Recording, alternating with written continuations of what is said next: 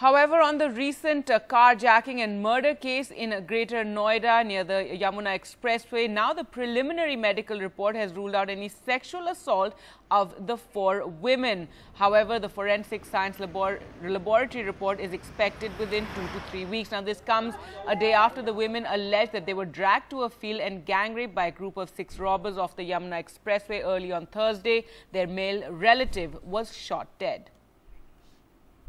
Victims ने बताया कि हमारे संग फोर्स वजाइनल इंटरकोर्स किया है।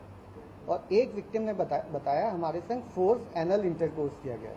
उनके कहीं पे भी क्लोथ्स पे या शरीर पे कहीं पे भी सीमेन के कोई स्टेन्स नहीं थे।